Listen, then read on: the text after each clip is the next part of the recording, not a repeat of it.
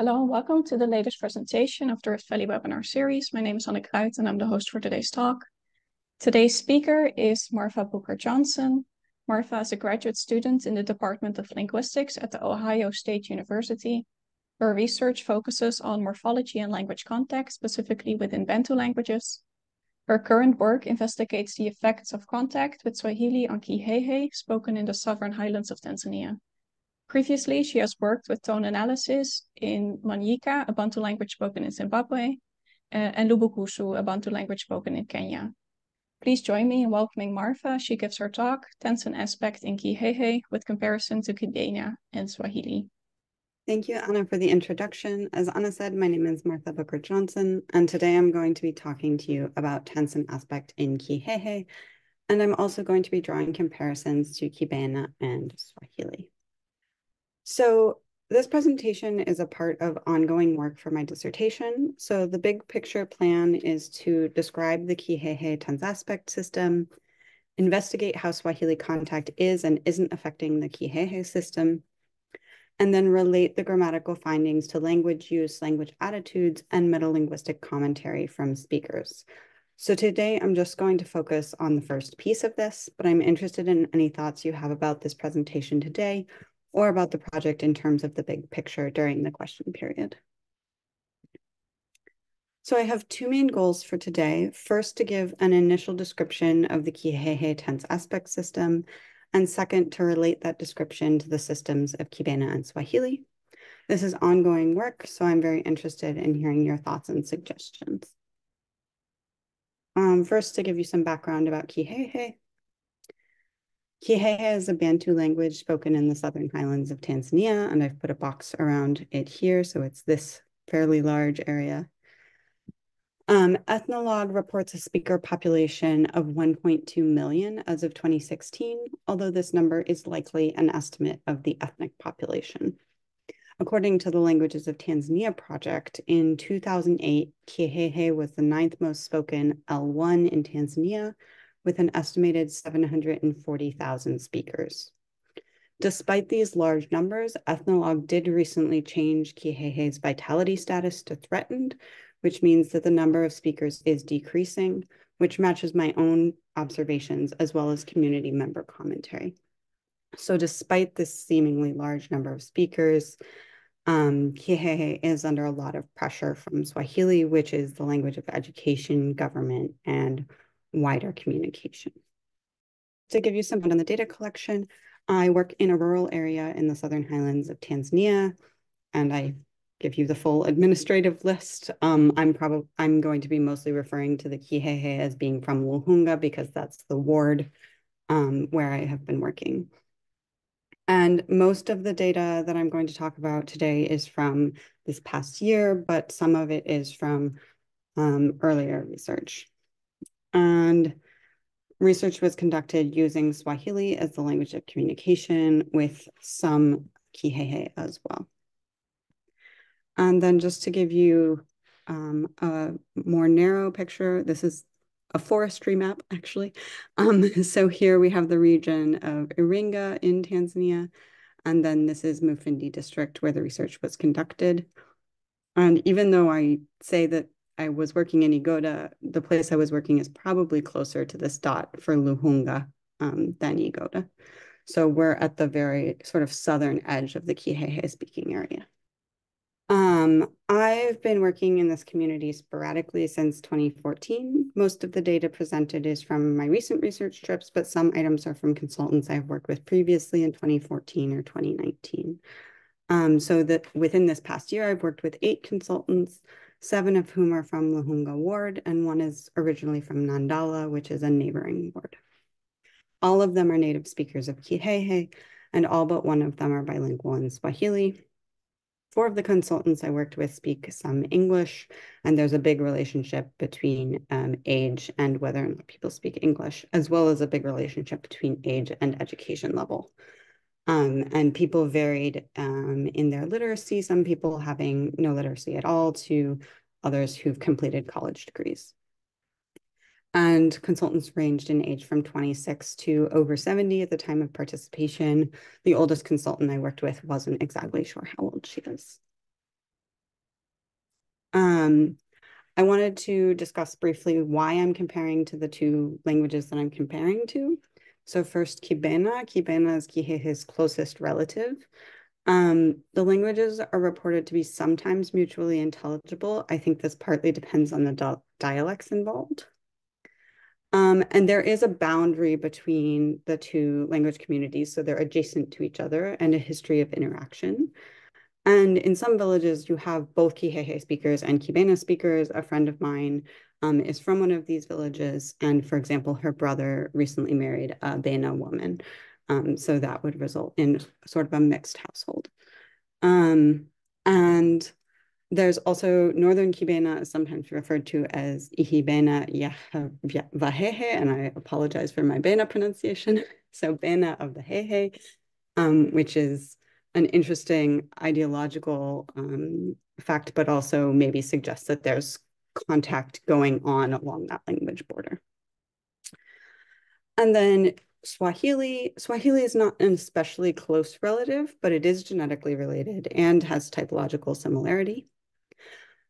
But importantly, almost all speakers of Kihehe, and this isn't just true where I work, it's true throughout um, the area where Kihehe is spoken, are also speakers of Swahili, with most people being childhood bilinguals. So they learned um, either in school or a lot of people even before they started school. And as I mentioned previously, Swahili is exerting strong social pressure on Kihehe. So um, there's sort of an expectation that we would see some contact effects happening. Um, just for this audience, I wanted to consider whether Kihehe is a Rift Valley language. I think probably not exactly, but um, let's consider for a moment anyway. Um, so I just put some arrows here to orient people. So Iringa is down here, and then we have Gogo. Um, I know people in this group have also talked about, for example, Datoga, Hadza Iraqw. Um, so Kihehe is not especially far away um, in that there's only sort of one intervening language. Um, and there's evidence of a lot of contact with Gogo and Ruvu languages. Um, so this is from a paper by Nurse in 1988, looking at the genetic relationships of Southwestern Tanzania. And he notes that there have been mutual borrowing and contact effects between Hehebena and Ruvu languages, and also that they have shared innovations. Um, there's slightly more influence going north to south, so from Gogo down to Hehe and Bena than the other way around. Um, and then this was not something that I was previously aware of, so I was interested to read that there's a lot of South Cushitic terminology in um, Southern Highlands Bantu. And Nurse thinks that this points to that region as the area of older South Cushitic settlement. Again, this is within southwestern Tanzania, not Tanzania as a whole, but um, I thought that that was an interesting collection or connection. So certainly not a central Rift Valley language, um, but could po possibly be seen as peripheral, especially due to contact with Gogo. But the area where I've conducted my research is actually far from the Gogo speaking area, bringing us a little bit farther away. All right. After that sort of side excursion, um, I want to talk about some phonological preliminaries that are just sort of uh, relevant to the tense aspect system. And so it's useful to go over them first. So Kihehe has quite restrictive phonotactics that disallow vowel-vowel sequences completely, um, although long vowels do occur in the language.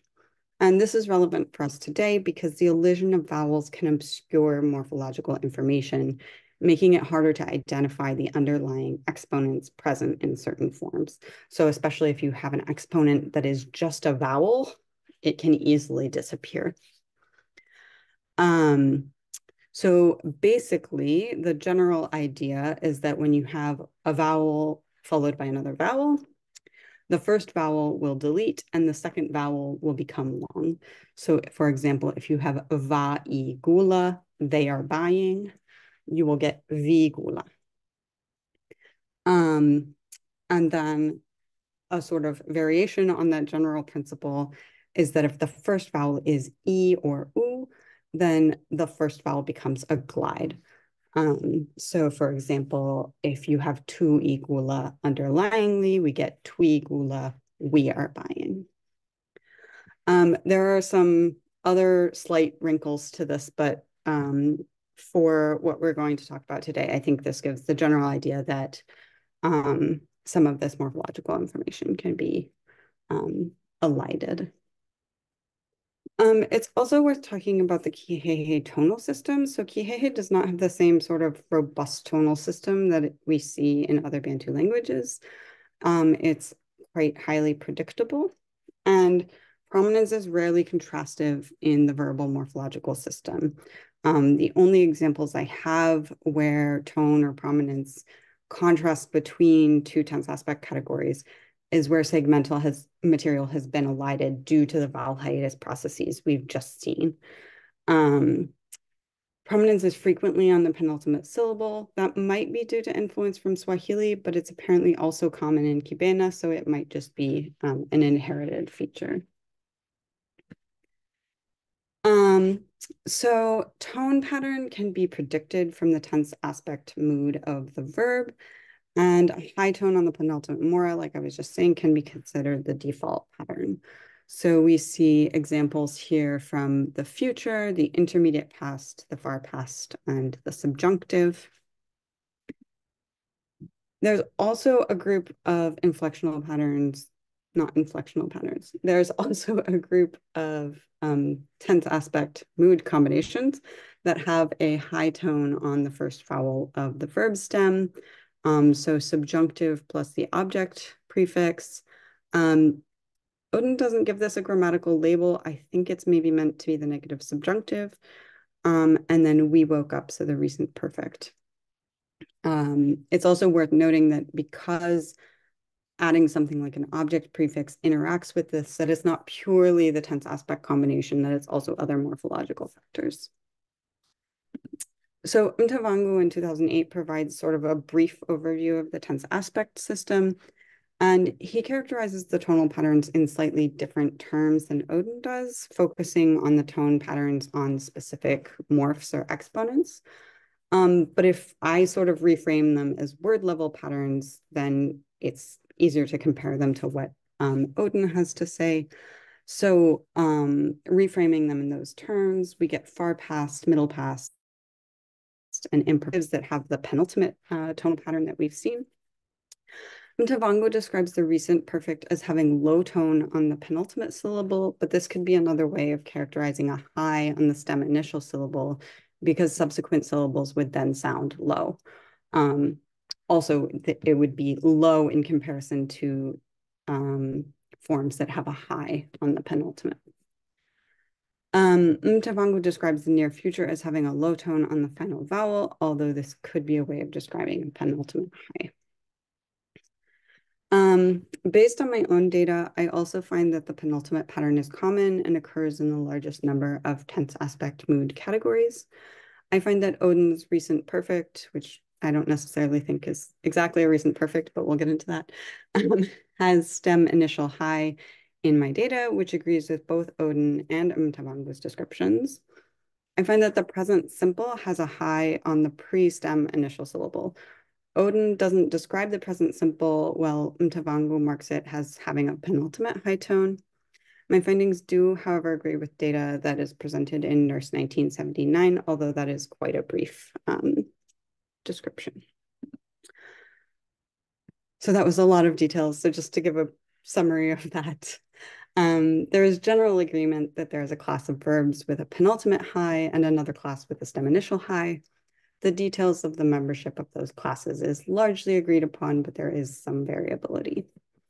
There's also possibly a class of pre-stem initial tense aspect mood combinations, but this bears further investigation. High tone assignment is likely impacted by object marking, negation, and other factors. Um, this has been seen, for example, in Kibena. Um, so a thorough investigation will be needed to gain a full picture. For our purposes today, tone is characteristic of certain tense aspect mood combinations, but is not necessary to establish the different categories present. All right, so tense in Kihehe, Kibena, and Swahili.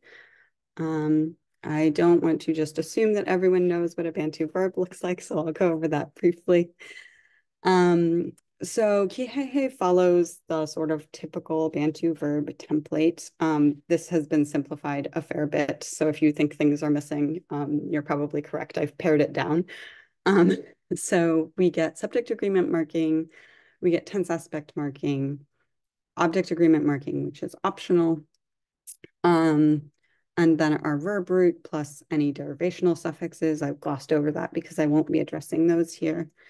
And then the final vowel um, provides additional grammatical information. In Kihehe, that can include aspect, modality, and negation. Um, Kihehe verbs can also use auxiliary ver verbs to form other combinations of tense and aspect. In Kihehe, the auxiliary verb also has typically has subject marking, although there are some exceptions, and a final vowel, and it may have an additional tense aspect marker, although that's not especially common. Auxiliary verbs are followed by fully inflected forms that have a structure similar to the template um, above. Um, so this is to contrast with an auxiliary verb being followed, for example, by an infinitive.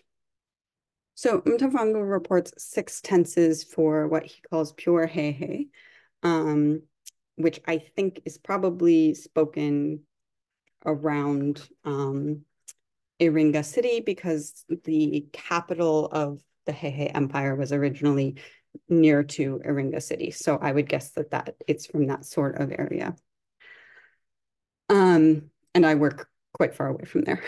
Um, and he reports three pasts, one present, and two futures. And in Luhunga, I find the same number of tenses, but there are some differences in one of the future tenses. Um, so this is just an overview, but I'll go through the pasts, the present, and the futures um, individually. Um, but we can see that these forms are the same. This is allomorphy, the ite versus ile. Um, so we have our subject marking, our tense aspect marking, and our final vowel. Um, and that is here as well. So there are three past tenses with different degrees of remoteness. The recent past is primarily a hodiernal or today past used for things that happened earlier on the same day. The middle past is used for yesterday or farther back. Um, consultants um, that I worked with reported that the recent and or how consultants I worked with talked about the recent and the middle past is almost identical to how Mtavangu describes them, that there's a fairly clear line um, between today and before today. The middle and the farther past, the boundary is a little bit more fuzzy. It's more contextual. It might depend on the person, um, etc. Um, but they are always sequential in that um, one is the closest, and then the next one, and then the next one. Um, now we'll look at this present form or a non-past um, it's a little bit ambiguous. So this is just marked with an E. So the present tense is also used as a narrative tense once the time of storytelling has been established. Um, it also has some sort of progressive or imperfective flavor to it um, that exists, although you can also mark it for imperfectivity. So um, uh, the present may also be used for the immediate future, which is common in a lot of languages, um, although that's not something that I've really looked into yet. So the future is the place where we see really a noticeable difference. There's this unmarked future, and then there's this distant future, um, which looks quite different. Um, so Mtavangu identifies La as a marker of a remote future. Uh, consultants I worked with routinely identified constructions with La as the negative subjunctive. No one has ever provided a future reading of it. Like I cannot get people to do this. Um, instead, consultants used sa to mark remote future, and that's probably from the lexical verb kutsa to come. Um, my discussions with consultants suggest that the two future tenses, unlike the past tenses, are not strictly chronological. Instead, sa is used for the remote future, while the unmarked form is a generic future that can be used for any future time. Um, and interestingly, Mtavangu also identifies this more generic meaning for the unmarked future, um, despite the fact that the remote future um, is formally quite different. Um, some consultants also identified SA forms as being more uncertain than the unmarked form. That's something I haven't dug into too much yet, but um, it's an interesting possibility. So just to compare this to Kibena, as has been seen, Kihehe has six tenses, three past, one present, and two future.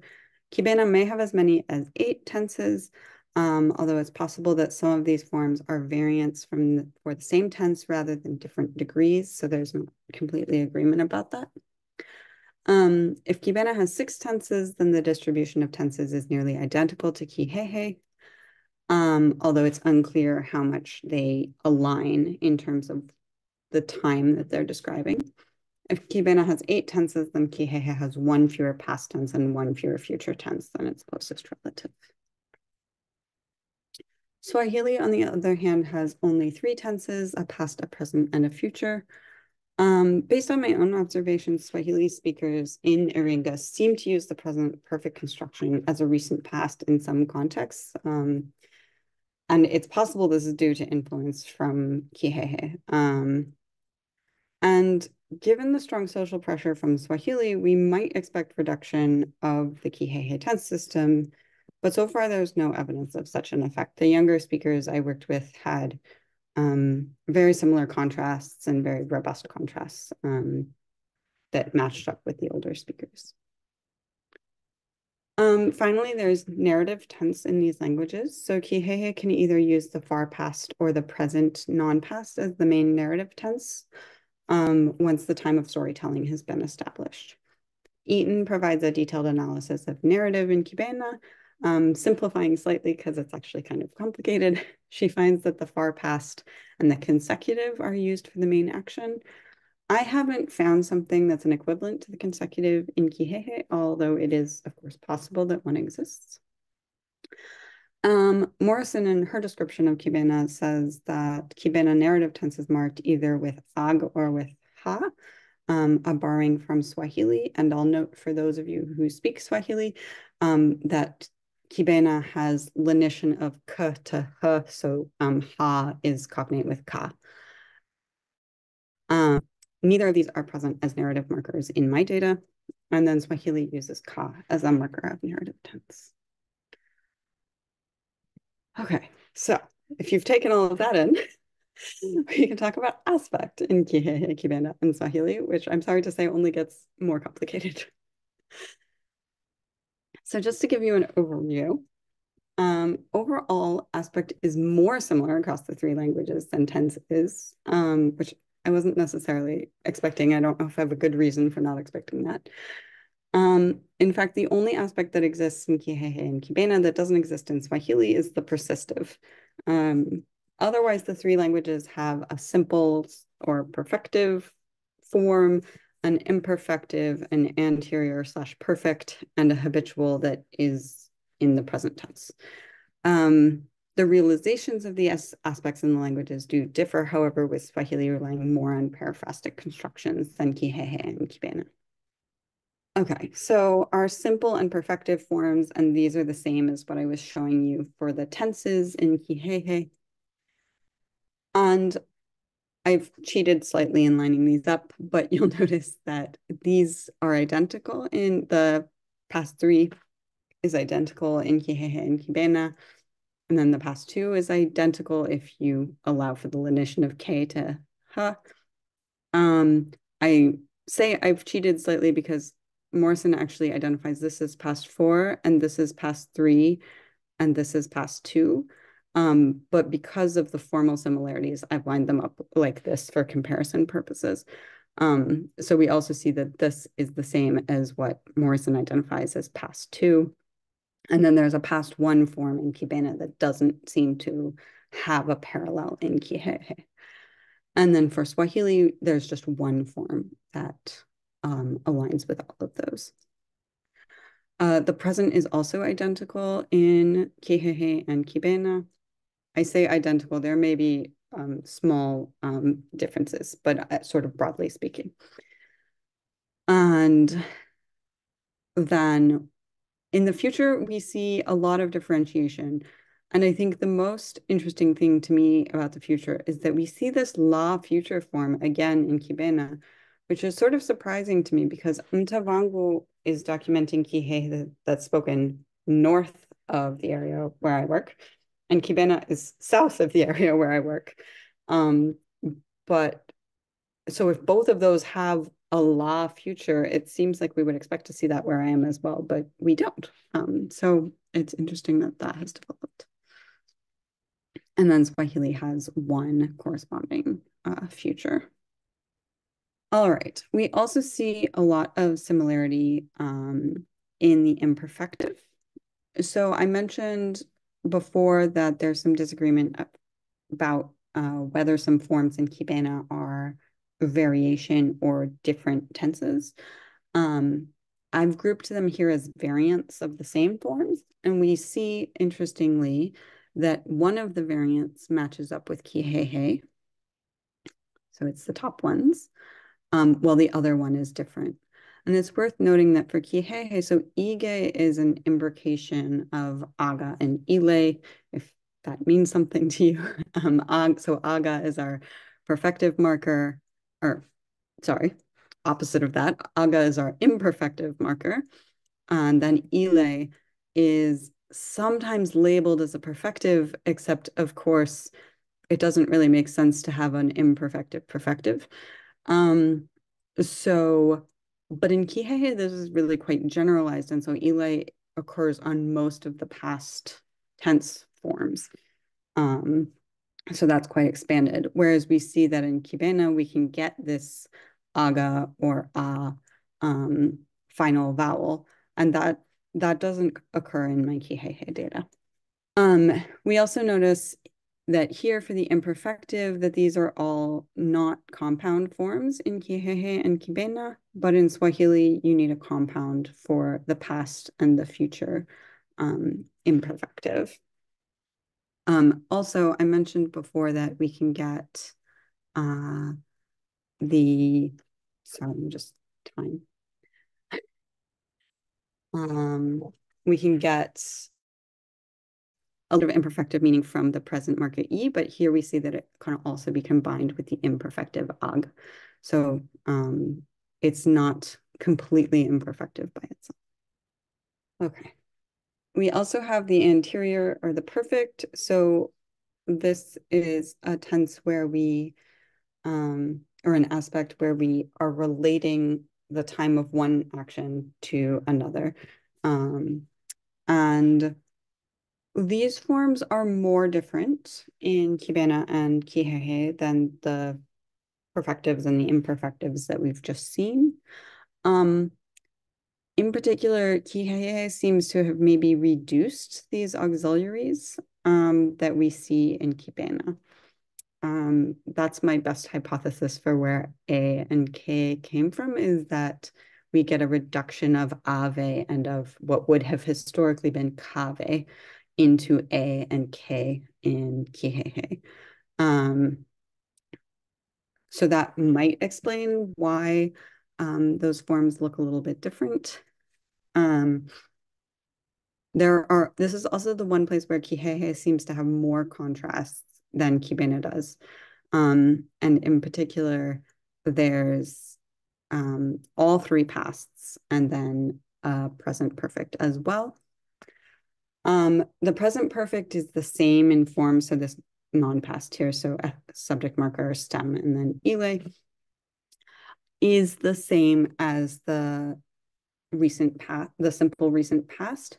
I have put them, put the same form in both places just because there is a distinction that can be drawn here. So with a verb, a state of verb like to be tired, um, this form would mean um, I was tired, but I'm not now. Whereas this would be I got tired and I am currently tired. So this um, I designate as the present perfect because it gives us that I became tired and I'm currently tired type of meaning. Um, for so we for all of these we see with the exception of this form we do get compound um, tense constructions for these, and that's also true for Swahili. Finally, as I mentioned, persistive is the only tense that or aspect that exists in Kihehe and Kibena that we don't see in Swahili. So this is to still be doing something. Um, and you'll notice uh, probably right away that this does not have quite as many tense contrasts as some of the other aspects. Um, the constructions are fairly different looking in Kihehe and Kibena. Um, the Kihehe constructions are all formed with pe. Um, this could be related to a locative relative marker that is used to mean when, um, but uh, it's unclear if that's where it comes from or not. It's also worth noting that the persistive is the only time that you can have an ah final vowel in the past tense in Kihehe. Um, unlike uh, in the other aspects. We do see pay um, here in this present Kibena form, but not in the others. Finally, um, there are is a habitual in all of the languages. In Kihehe, it's in the present tense only. You can um, make habitual constructions um, for other tenses, but the imperfective is used. So if it's I used to go to school every day, you would just use the imperfective. Um, and that's not a compound tense, so it's just a simple tense. In Kibena, Morrison identifies a present and a distant past. So the present, unlike Kihehe, is a compound construction. So first there's that. And then the distant past is actually looks a lot like the far past imperfective in Kihehe, and Gray um, actually identifies this form as a variant of the far past imperfective. Um, so as I was mentioning in Kihehe, the far past imperfective is used in a habitual type of meaning. So I think that's maybe what's going on here. And then Swahili as well, we get this present tense only with who, um, and then the stem and then an um, final vowel and there's no subject marker on that. Okay, so just to wrap up, Kihehe and Kibena show strong similarities, uh, both in the categories they express and the exponents used to express them. This is not phenomenally surprising, they are closely related. Um, relative to Kihehe and Kibena, Swahili has a reduced tense system, but similar aspectual categories um, there are virtually no shared exponents of tense and aspect to, between Kihehe Kibena and Swahili. Um, Kihehe's tense aspect system, therefore, seems to currently still be quite intact, but it remains to be seen whether that situation will persist. Um, here are my references. And I would just like particularly to thank all of the consultants who have worked with me over the years. Um, who have always been wonderfully, wonderfully patient. Um, and I will leave you with a lovely picture of a Hehe basket.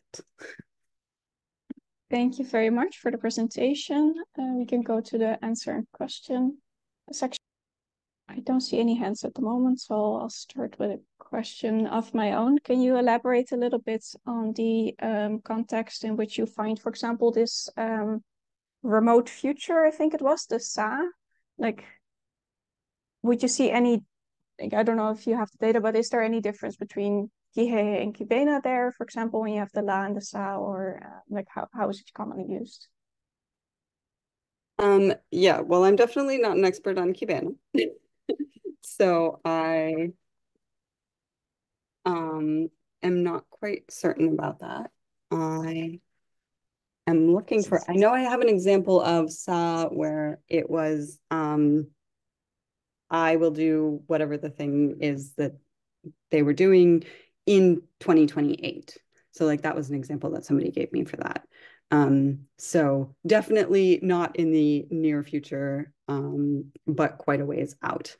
Um, and again, like I said, my understanding of that is that you could also use the generic future for something that distant, um, but that you yeah, that I my my assumption is that it adds a little bit of emphasis to the distance. um, because it was definitely dispreferred for something that was um, immediate or would happen right away. So it's, I think it's mostly that there's a prohibition on using it for sort of something that's very close. Prohibition is maybe a little strong, dispreference. Does yeah, it does. Yeah, uh, thank you, Martha, for a great uh, work. Um, I'm wondering if um, you can ask your consultant about the historic past marked by A. Um, but also um, your consultants are saying La is only for negative, is a negative marker. But in my ongoing work is both a negative marker and a future marker. I'm also wondering if Swahili has no persistive marker, uh, what about um, the word bado? Martha bado anawasilisha. Yeah, so you can make a persistive construction in Swahili using bado. So for the people who aren't Swahili speakers, bado means still. Um, so you absolutely can make a persistive construction, but it's not sort of its own um, morphological inflected category. That's the distinction I'm drawing is whether or not it's sort of um, its own morphological form. So for example, with the habitual, right, you can talk about the habitual in any tense that you want to, but there's only a, um, a dedicated form for it in the present tense. Um, so that's that's the distinction that I was drawing. And uh, you, you, in terms of la as a negative marker and future marker, you can ask them about the Hehe song, ukangalage ukulima ulalia kumwaka. So like work very hard, you will eat in the future. So in that context, la is not negating, but is mark is marking future. I I don't doubt at all that it exists because enough people have written about it that it must. Um, so I I can try to ask again, but it's interesting that in the area where I'm working, it doesn't. Yeah. It's certainly not something people will volunteer. Um, but um, it'd be interesting to see if I get any commentary about, oh, that's how people talk in that other place, for example. Good. Thank you.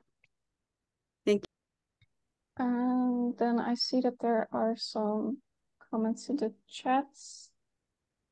Um, I think I'll come back to them because I think maybe Helen wanted to respond to this topic, so I'll just ask her to unmute first.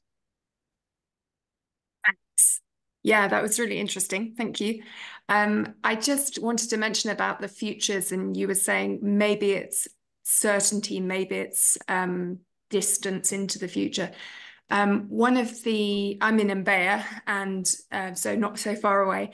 And for some of our languages, we found it helpful to look at the idea of a contingent future. And I just was reminded of that by that saying that we just heard, because if you do something, then you will do something. Um, so that might be a fruitful area of research. Yeah, thanks. Yeah, thank you. Yeah, thank you. Um, I will just read out what's in the chat. Um, so Genia says, thanks, a very general question. I would love to know if you come across uh, any relevant literature on tense aspect mood in contact. Thank you. And then after that, she says, last, both a future marker and a negative marker in some varieties of Berber, namely in the parts of Senhaja. Hmm. That's very interesting about law. Um, yeah, I think that's a good question about tense aspect mood in contact. Obviously, in terms of borrowing actual inflectional exponents, people usually say that's um, sort of the last one of the last things to be borrowed. Um, I would actually very much be happy to take citations about things where it's more sort of pressures towards changes in the categories. Um, so if other people here are more familiar with that than I am, I would very much appreciate that. Uh, and then there's a question from Aaron who says, thank you, Martha, for your presentation. Have you looked at tense aspect with negation? Have you found any dedicated uh, negative tense aspect markers or would they just add a negation marker with the same tense aspect markers?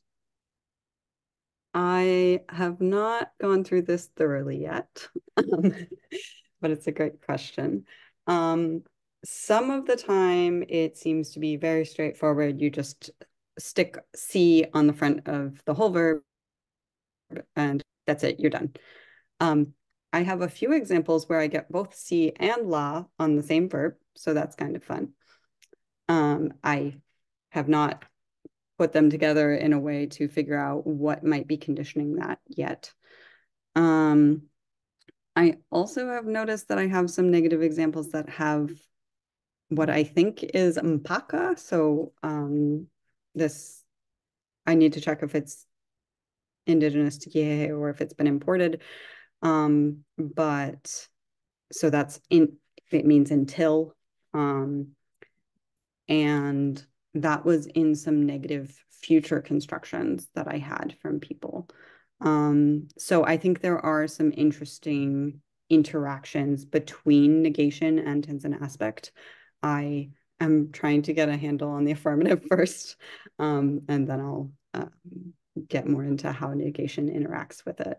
Because, um, yeah, there are just so many moving pieces. Then, of course, there's how object markers interact with it. Um, weird things happen there, too. Um, so, uh, yeah, it's a great question. All right, then um, thank you, Martha, very much for the presentation. I'd like to take this opportunity to remind everyone that recordings of all of the presentations in the Rift Valley webinar series can be found on our YouTube page, and each uh, presentation is added to the Rift Valley bibliography. Looking ahead, the next webinar will be on Wednesday, the 10th of July. Uh, it will be presented by Lizzie Poole and Helen Eaton on the topic of literacy. Um, so Martha, thank you again for the presentation and everyone else for participating today. And I look forward to seeing you at the next webinar.